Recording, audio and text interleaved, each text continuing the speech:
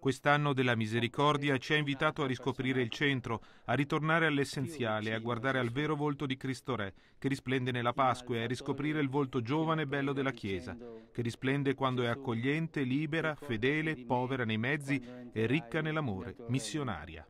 Così Papa Francesco nell'omelia della messa di chiusura del Giubileo della Misericordia, in piazza San Pietro, presenti più di 70.000 fedeli.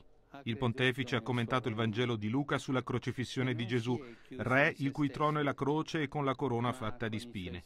Se crediamo che Gesù è re dell'universo, dobbiamo accogliere anche il suo modo di regnare e non fare come il popolo al Calvario, che stava a vedere. Non rimanere alla finestra piuttosto che avvicinarsi e farsi prossimi, e invece seguire la via di Gesù, di amore concreto. Non fare come chi gli rivolge la provocazione salva te stesso, tentazione che è un attacco diretto all'amore. Quante volte ha ammonito Papa Francesco siamo stati tentati di scendere dalla croce. La forza dell'attrazione del potere e del successo è sembrata una via facile e rapida per diffondere il Vangelo, dimenticando in fretta come opera il regno di Dio. Dobbiamo trovare il nostro orientamento ha spiegato solo nella perenne e umile regalità di Gesù, quella che risplende nella Pasqua, e fare come il secondo malfattore sulla croce. Non si è chiuso in se stesso, ma con i suoi sbagli, i suoi peccati e i suoi guai si è rivolto a Gesù, ha chiesto di essere ricordato e ha provato la misericordia di Dio. Dio non ha memoria del peccato, ma di ciascuno di noi, suoi figli amati, e crede che è sempre possibile ricominciare, rialzarsi.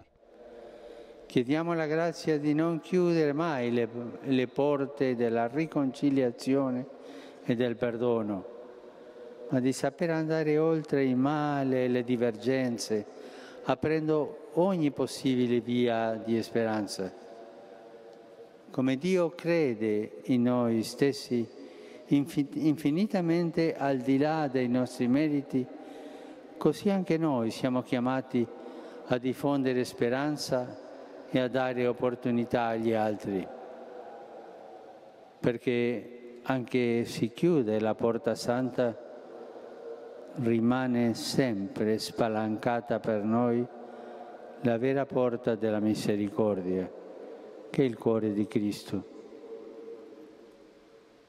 Dal costato squarciato del risorto scaturiscono fino alla fine dei tempi la misericordia, la consolazione e la speranza. Dopo la preghiera dell'Angelus rivolta a Maria, Madre di Misericordia, il Papa ha ringraziato tutti coloro che hanno contribuito anche spiritualmente alla riuscita del Giubileo, gli anziani e i malati che hanno offerto anche le loro sofferenze e specialmente le monache di clausura.